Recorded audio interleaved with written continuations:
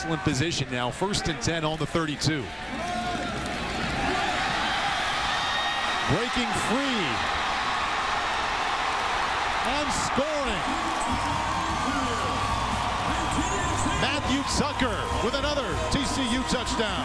Paul, we saw Waymon James do it. We saw Ed Wesley do it. It's Matthew chance. Yards after contact with these TCU backs. They are so aggressive and so violent running the football. All have good low center of gravity.